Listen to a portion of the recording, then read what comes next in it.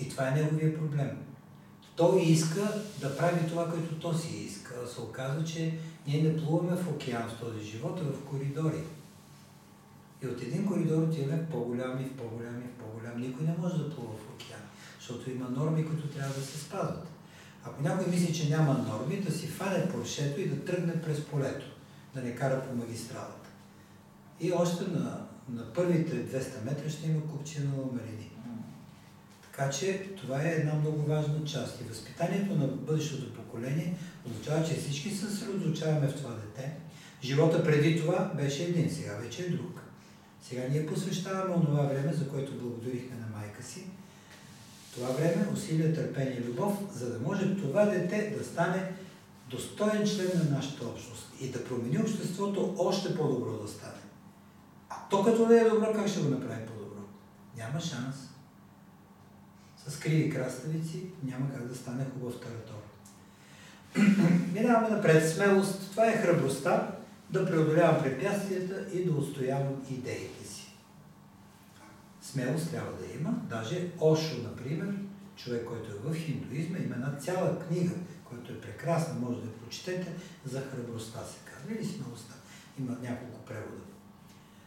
А, ето това са такива важни добродетели. Другото се нарича ентусиазъм, а, което е вид въодушевление, вдъхновение.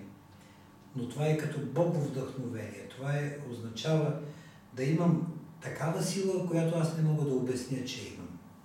Знаете, ентусиазираният човек, че нещо друго като че ли го води. И целта е да вкарам това нещо при работа, при творчество и при общуване. Когато един човек е ентусиазиран, той излъчва, той събира хора около себе си, той събира самишленици много лесно. Ако наш, нашата реч или действията ни са вяли, ние няма шанс да привлечем другите. Всичко се прави с мерак, нали така да. казват турците. Да. Меракла. Има харизма този човек, Привлича просто, защото ентусиазма му. Следващото е, е ученолюбие. Тибетците има такава поговорка, човек е жив, докато се учи. Ние казваме, човек се учи докато е жив, по същия начин, горе-долу е същото мнението. Но това е стремежа към нови и нови познания. Тъй като светът е твърде голям и аз е добре да науча истината за себе си и за света, в който живее, част по-скоро.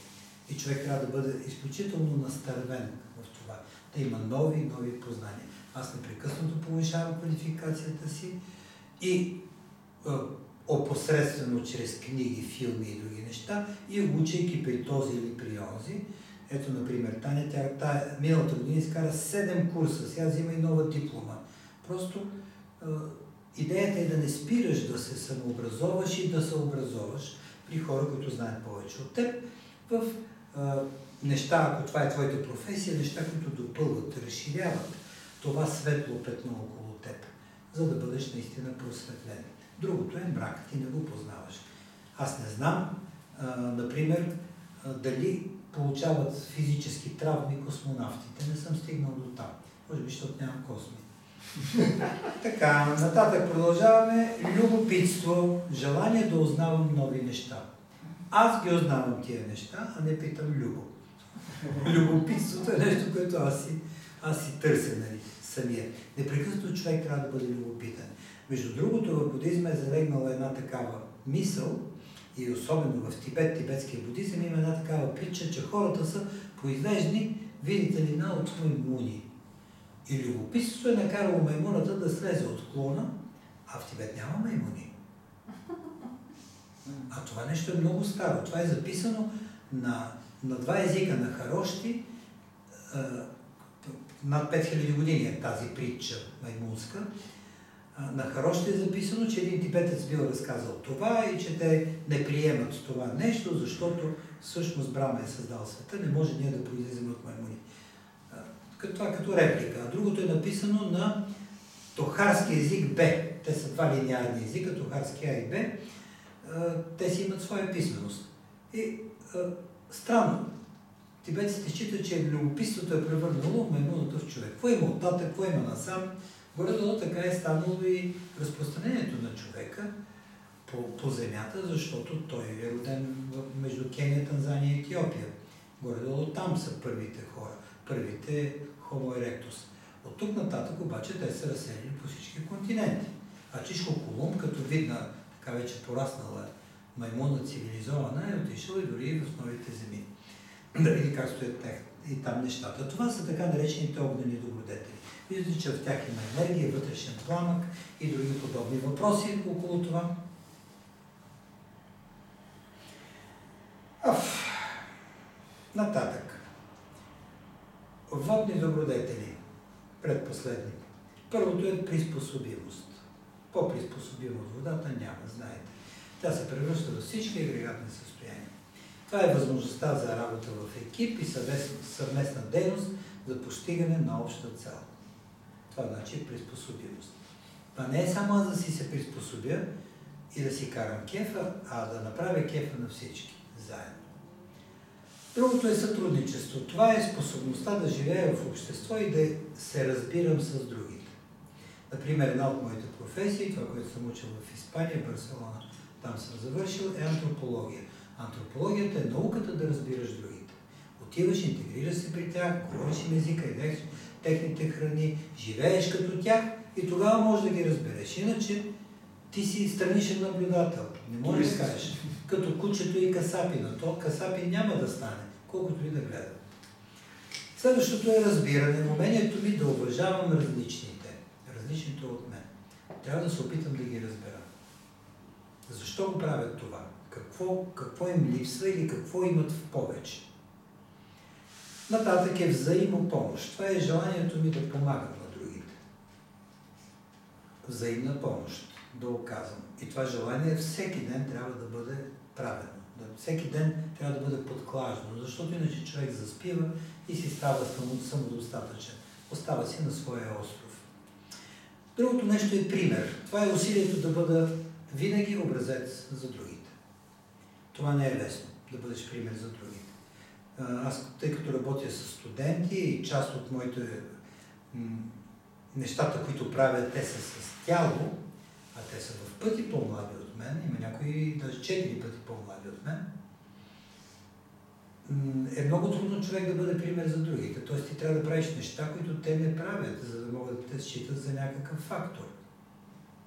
Аз на 67 години, на 16 годишни, да прилагам трикове, които са пълни с енергия, всичко дори кипи в тях, е много сложно. Затова човек трябва да се държи във форма, непрекъснато, поне докато е на това място и да не, да не се отпуска.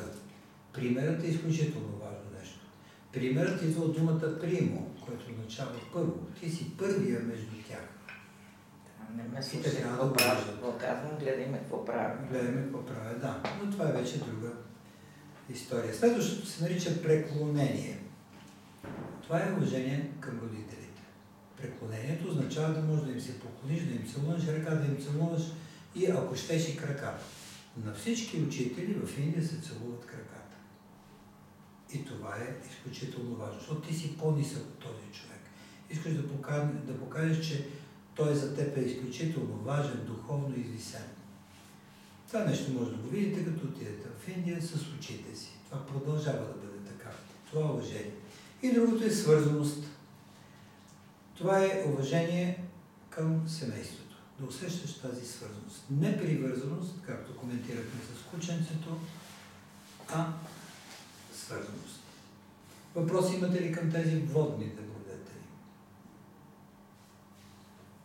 Последни. Земни. Първата добродетел е постоянство. Това е волята да постъпвам правилно всеки ден. Няма днес да се отпусне и да кажа, бе, днес мога и да кръшна.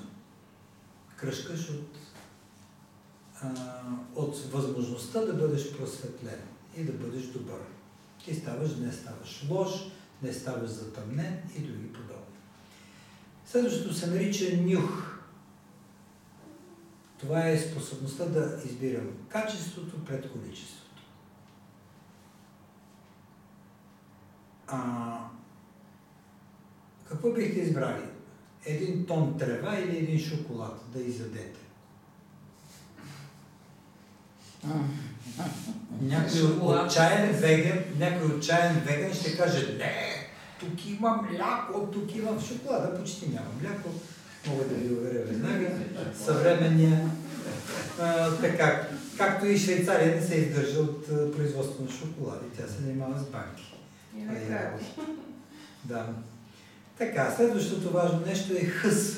Това е за стремежа да давам всеки ден най-доброто от себе си. Събуждам се и си казвам сега, какво мога да направя нещо да се надскоча? Какво е това, което мога да направя в повече? Нещо да допълня. Ако не си казваме това, ние живеем без хъс. И всеки ден става като другия. Както не мога да кажа какво съм ял преди един месец в три и половина след обед, така и денят става еднакъв. Следващото е правосъдие. Това е правене на умни избори. Трябва да отсъждаш правилно. Не да съдиш другите правилно, а ти да отсъдиш и да избереш правилно. Да изберете българското, както се казва. Следващото е яснота. Това е умение за здрава преценка. Добре да преценяваш нещата. За да направиш добър избор, това е по-долното, трябва да преценяваш правилно и след като избираш правилното. Другото е трудолюбие. Коренна, важна добродетел. Желанието да създавам обществено благо. Труда за теб има едно значение. То е труд, а другото е си е сериозен труд. Тогава, когато човек тръгне да създава обществено благо и мисли как това се отразява в обществото, съвсем друг е неговия начин на мислене и на действие. Давам ви следния пример. Вие сте достатъчно големи хора.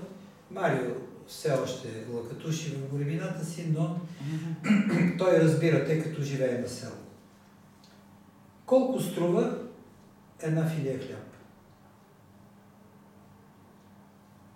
Ако влезеш в ресторанта, тя е в селски ресторант я дават за 3 стотинки в момента. Това ли е цената на този хляб? Детето става по-бързо, отколкото хляба. Като човек, който е и расъл на село много години, тъй като моята майка е от село, пък и покрай селата, които някога са били в, в другия ми род, там където сме имали мерасъл отрасъл, той е Велико Търново, но Велико Търновско, там Тенча, Мекиш, Иванча, Полски Трамбеш и прочие, Силюево. А, другото е вече Видинско. Аз виждам какъв е процес. Едното е пресичане на стърнищата, защото е имало нещо там. Ако е целина, още по-сложно. Следващото нещо е дълбока оран, след което имаме плитка оран, след което имаме брануване. Това всичко е цената на хляба. На тази филийка от 3 стотинки. Следващото имаме сейдба, което е цял процес. Един месец е процеса на сейдба. След това имаме един вид поливане, след което идва зима, чакаме известно време, след което имаме пролетна ора, след което имаме ново поливане, след което имаме турене, след което имаме няколко вида плевене тогава, когато тръгне да расте това, което после ще го ям, след което имаме а, премахване на вредители, защото има и такива вредители, те искат да ядат, те са част от световната хранителна верига. След което имаме женане, което някога е ставало с ръкойка, с сърце, навеждам се, това, което ние правихме тук, да се кланяхме, но само, че с затворени очи, с отворени очи. След което имаме отделяне на житото от плявата, след което имаме вършене, вършитба. След вършитбата имаме веене на житото, което се прави в едни големи сита и вятъра духа и отвява. След което имаме мелене, слагат се там дрожди или мая или кой каквото си слага или квас. И след което имаме втасване, изпичане и едва тогава идва хляба в ръката. Процесът е 10 месеца. И това е проблема. Тази думичка се казва труд. Как да оценим труда на цялата тази верига от хора? Ако аз сам си го правя, никой няма да изхвърля и къше. Както казваше прадядо ми, чието портрет е тук с една шапка. Да. Да. Прадядо ми казваше така, който хвърля стотинката не струва колкото нея. Да. 9 септември него го заварва с 2000 декара фабрика, единствена в цяла Видинска околия за, за тухли, която и в момента работи, само че Gypsy Kings работят в момента. Някога работиха само българи. Всичко това заради неговите убеждения, той го дава на държавата. Веднага подарява го. Той така си почина човека на 104 години.